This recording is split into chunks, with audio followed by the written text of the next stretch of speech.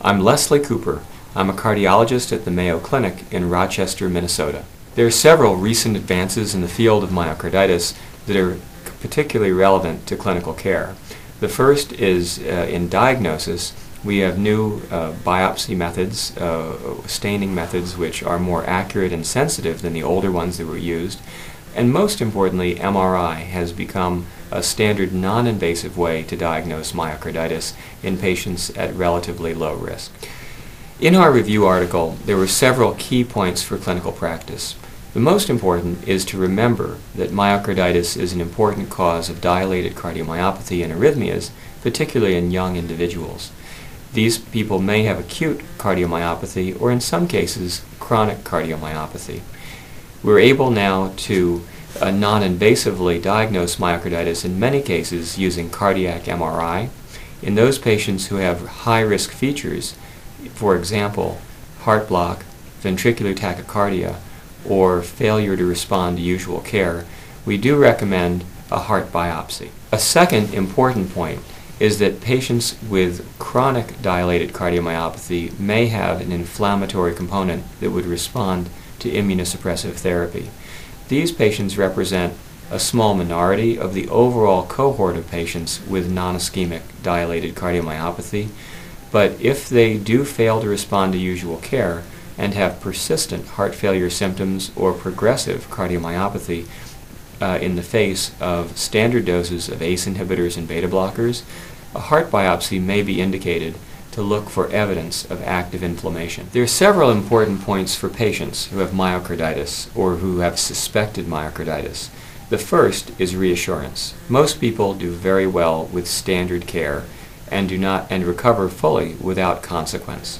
In those patients who have persistent symptoms or whose clinical course is complicated by clinical, uh, clinically significant arrhythmias, they may require specialized uh, management, sometimes with immunosuppressive therapy. Those patients should be referred to a tertiary care center with the expertise to manage myocarditis specifically. Patients who have acute myocarditis and a cardiomyopathy, meaning a large, a large heart uh, with symptoms of heart failure, should be advised to refrain from aerobic exercise for a period of time between one and six months, depending on the severity. In addition to standard management recommendations for, for heart failure and arrhythmias in the context of any form of cardiomyopathy, we recommend that patients abstain from uh, aerobic exercise for a period of one to six months after the acute injury. There are several areas of research that will impact clinical practice in the next few years. Most immediately, advances in uh, cardiac MRI technology will improve the diagnostic accuracy of this test for myocarditis, both in acute and in chronic patient uh, in a chronic cardiomyopathy. The second area is advances in our understanding of the immunologic mechanisms of myocarditis, specifically uh, the role of T regulatory cells, uh, effector T cells such as Th17 cells, and autoantibodies in the pathogenesis of myocarditis.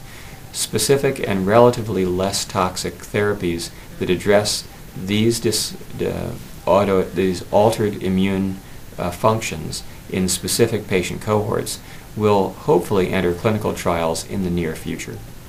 Lastly, uh, there are clinical trials that are underway and recently completed in patients who have viral cardiomyopathy and they suggest that in small cohorts of patients with specific viruses, there may be a role for antiviral therapy.